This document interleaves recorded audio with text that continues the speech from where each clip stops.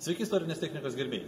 Štai šitoje vietoje, e, čia yra akademija, Kauno rajonas, na faktiškai Kaunas, mes kviečiame visus atvykti 22 metų vasario 27 dieną, tai yra pati paskutinį vasario sekmadienį, į naujai formuojamą renginį, siūlomą renginį būtent istorinės technikos gerbėjams, tai yra retro mūgė žiema.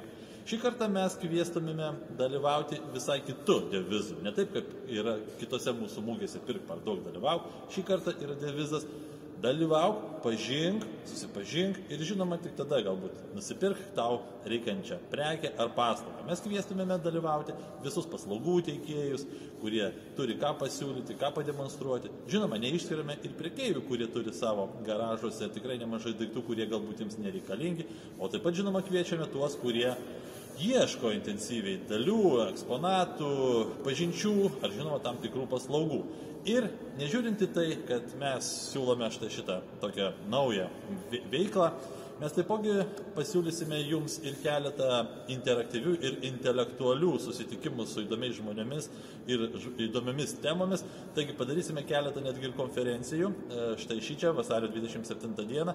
Sekite mūsų Facebook puslapį, mūsų internetinį puslapį.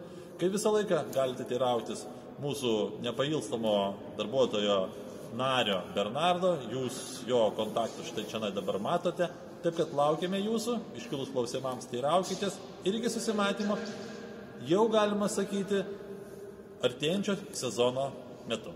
Ačiū Jums.